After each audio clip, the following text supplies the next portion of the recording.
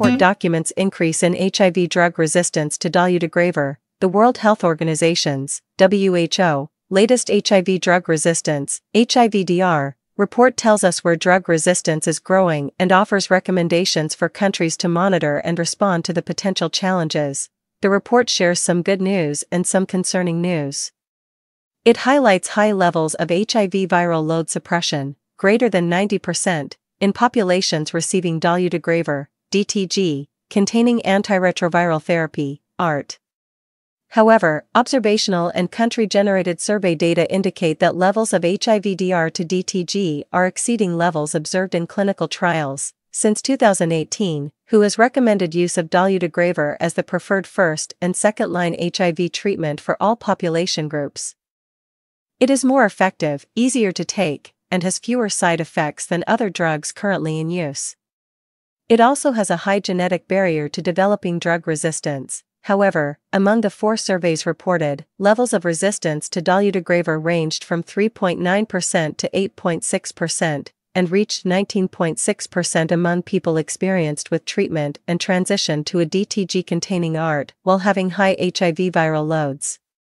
To date, only a few countries have reported survey data to WHO, the worrying evidence of resistance in individuals with unsuppressed viral load despite dolutegravir treatment underscores the necessity for increased vigilance and intensified efforts to optimize the quality of HIV care delivery. Said Dr. Meg Doherty, Director, WHO Department of the Global HIV, Hepatitis, and STI Programs.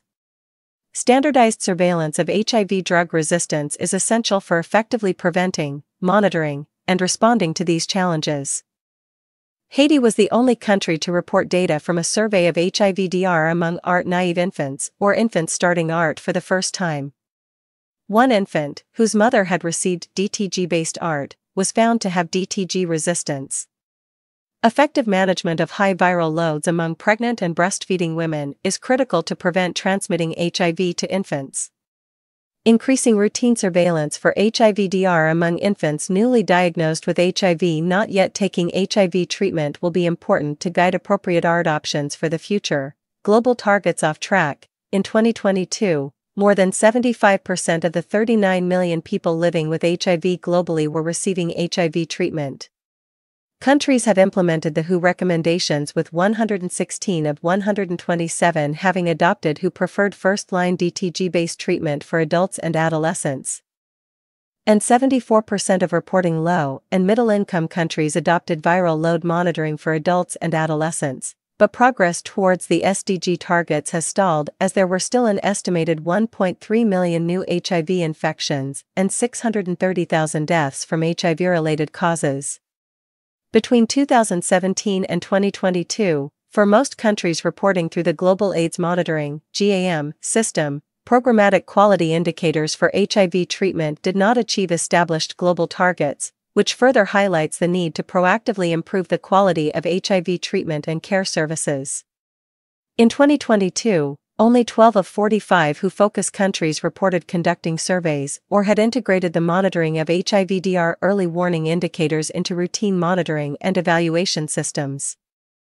Many countries continue to miss the mark when it comes to optimizing retention and care, population level viral load suppression, and switching people with virological failure to different regimens. Additionally, antiretroviral drug stockouts continue to happen, which may negatively impact patient treatment adherence. WHO recommends that countries routinely implement standardized surveillance of HIV-DR to follow the prevalence and patterns of resistance among people not achieving suppressed viral load. This is critical, as information and data from surveys influence the development of treatment guidelines and inform the quality of treatment programs, recommended guidance for country action, the report also documents cases of resistance to integrase strand transfer inhibitors, INSTIs, after recent exposure to cabotegravir, CABLA. Delayed detection and confirmation of HIV infection can increase the risk of developing resistance to INSTIs. Since 2022, WHO has recommended the use of long-acting injectable CABLA as an additional HIV prevention option for people at substantial risk of HIV infection. Despite the possible risk, WHO recommends the rollout of CABLA for pre-exposure prophylaxis, PrEP, and calls for the scale up of PrEP to be accompanied by standardized surveillance of drug resistance among people testing positive for HIV while receiving PrEP, routine monitoring of quality of care indicators at both clinic and national levels, followed by addressing any suboptimal performance, remains a cornerstone for the success of ART programs. Key quality of care indicators include on time ART pickup, retention on ART, viral load testing coverage, timely second viral load test, ARV drug stockouts, and timely switch to second line ART. The new HIVDR report emphasizes the importance of strengthening data reporting systems so that countries can effectively monitor and report quality of care indicators. It underscores the active engagement by ART clinics and programs in use of indicator data to develop locally appropriate and sustainable solutions. These efforts are crucial for optimizing service delivery quality, thereby reducing the emergence of drug resistant HIV.